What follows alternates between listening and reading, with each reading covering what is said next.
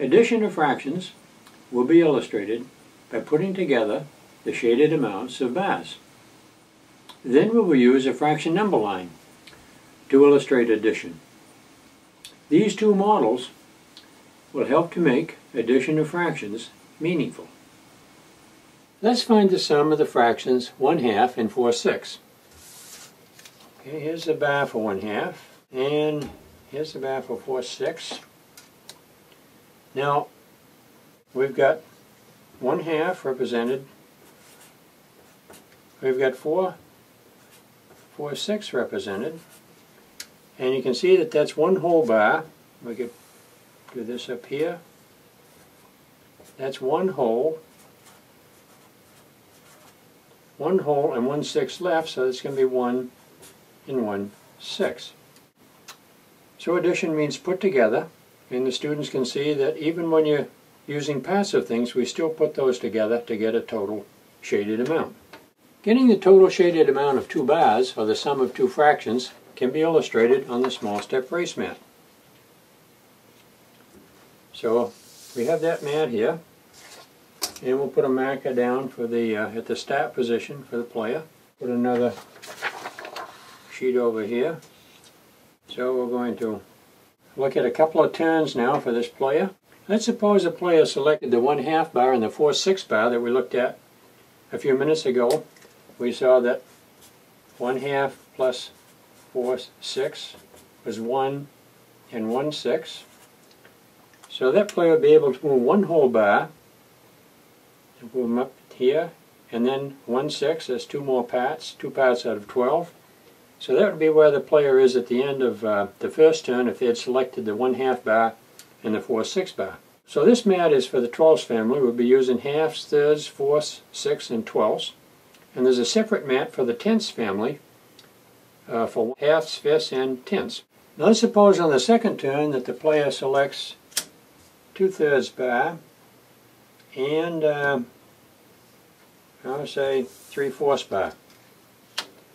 So now we want the total shaded amount of these. Now these bars don't line up that well.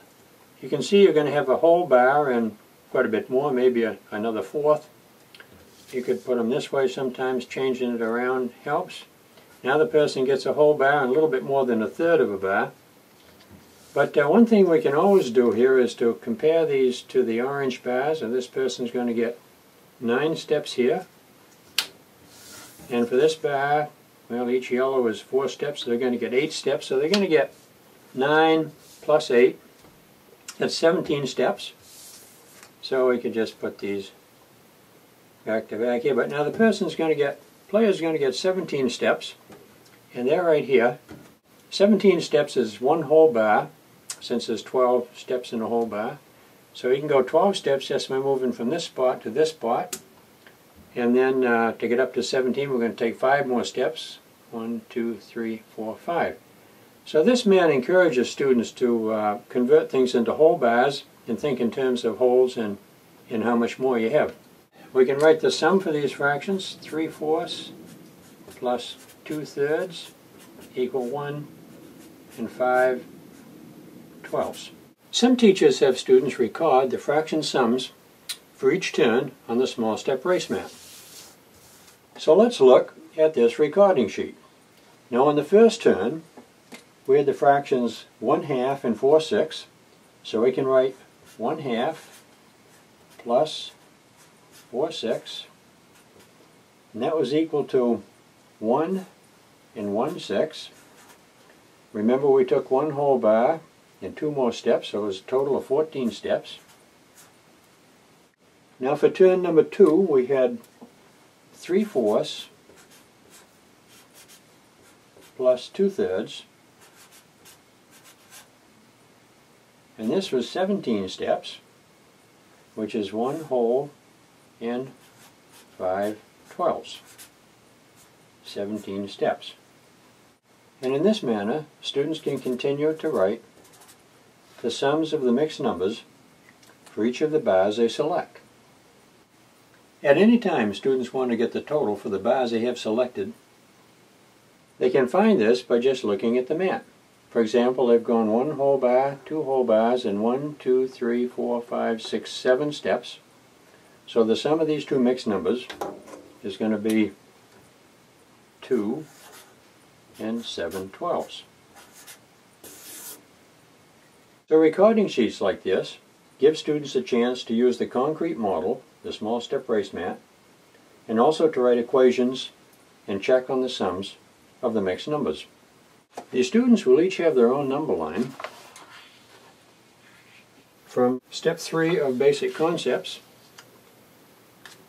and they can uh, put markers on that number line to indicate the sum of two fractions. Let's just take these fractions we've been using. So they've selected two bars. They want to get the total shaded amount of the sum of the fractions, so they're going to move this first marker. We'll just leave that there for a minute. They're going to move it up here to this point right here, which is going to be 9 twelfths. So they move their marker from here over to here. Then for the second bar, they're going to move their marker over to here. Now I just put this marker right over here at this point right here. So the total, they moved from here over to here. So they've got um, 3 fourths plus 2 thirds is equal 1 and 1 and 5 twelfths. There's a game that they can play, a number line racing game where each student starts with a marker on the zero position, selects bars, moves the marker across until somebody gets at the point 2. Or you could make uh, longer number lines that go up to uh, 3 whole bars. We have seen that addition of two fractions means putting things together. This is the same way we illustrate addition of whole numbers when children are beginning school. This is a big idea in mathematics that extends across all number systems. You can illustrate the addition of whole numbers, integers, fractions, and decimals by putting things together. Let's look at a list of games. These games are from the first four sections of the Fraction Bars Teacher's Guide. In the Basic Concepts section, there are four games. In the Equality section, there are seven games. There are also seven games on inequality, and in the Addition section, there are five games. We have just finished the videos on these three sections and are just finishing this video on addition. Two of the games from addition, concentration and the small step addition race, are appropriate to follow this video on introducing addition of fractions. There is also a version of concentration on fractionbars.com. Let's take a brief look at this game. The player will choose the one player option. The player's name is Emma and she selects whole bars and the intermediate level. Emma turns over two of the 16 bars.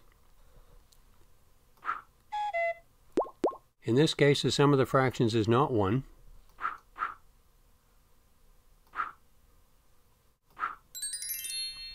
In our second try, the sum of the two fractions is 1, so Emma receives a bonus turn.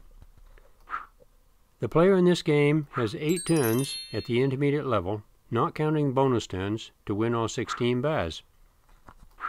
This game is readiness for adding fractions whose sum is 1.